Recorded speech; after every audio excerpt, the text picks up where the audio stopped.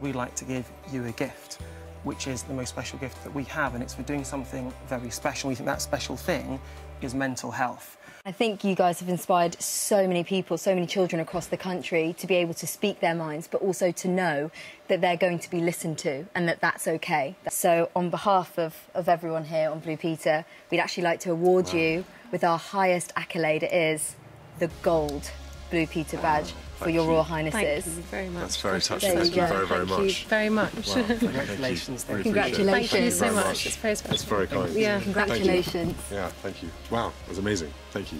Uh, do we have on a badge? No, it's No, hugely you. special. Thank you so much. And obviously, sort of mental health it's been sort of a learning process for us too, and that's really what we want to try and do.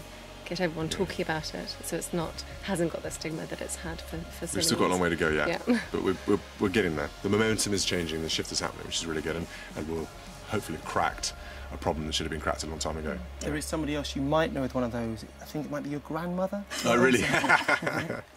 we'll compare. yeah, we've got a lot more work to do. I Yeah, think. absolutely. But thank you so much. It's a real honour. Thank you for coming into the Blue Peter studio. Thank Very you nice so to meet you. much. Blue Peter round of applause. Thank you.